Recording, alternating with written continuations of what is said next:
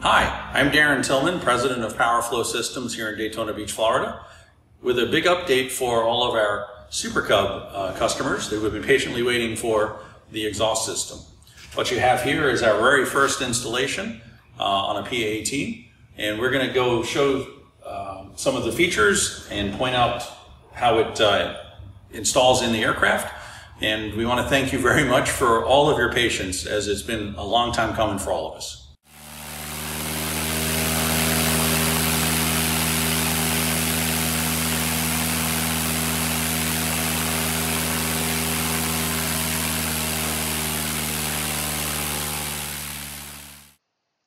Hi, I'm standing here with uh, PowerFlow's first production model of the leading edge tuned exhaust system for the uh, PA18. This happens to be a PA18 Alpha model uh, with 160 horse conversion.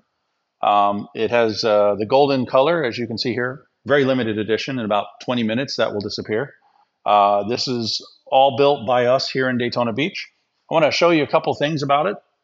Uh, we did do um, a number of minor adjustments to what uh, was produced by Leading Edge versus what we're going to be producing um, with uh, our production and quality in mind.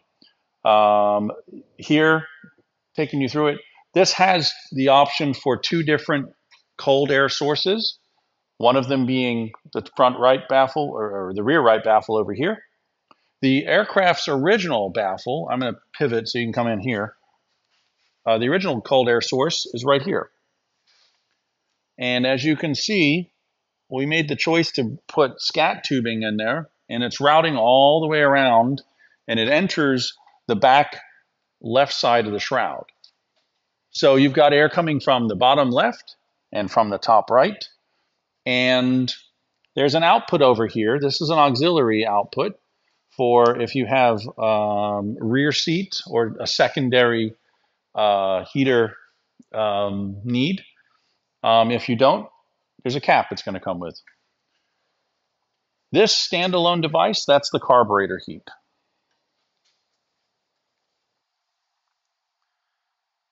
So it's designed to be detachable, of course, and it feeds right in. Now, in the airbox itself, that the way the airbox is coming out, it's sort of an awkward angle. It's going to get too close to this tailpipe.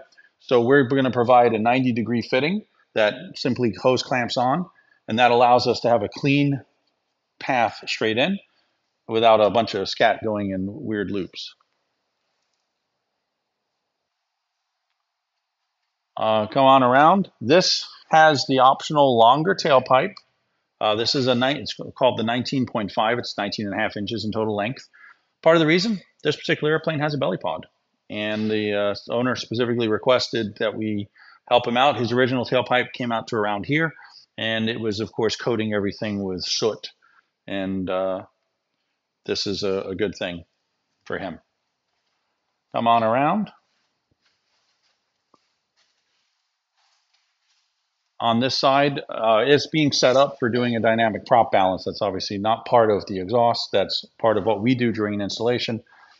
Um, you can see the great lengths we went to for keeping the right tune length. Uh, there's not a lot of clearance. It's really tight to this support rod here. We actually put a little heat shield on it just to give it a little extra safety margin. Here's that cold air source coming from that front right, coming through. We've got a Adel uh, clamps in here. And you can see it coming into the shroud there. The shroud is made of aluminum, just like Leading Edge was doing it. Uh, this is, is, almost identical to Leading Edge's original design. We did want to give ourselves as much clearance as possible to the firewall without coming too far forward and running into anything on the accessory section. That's the, the compromise right there. So that's the, that is the tuned exhaust system as you see it there.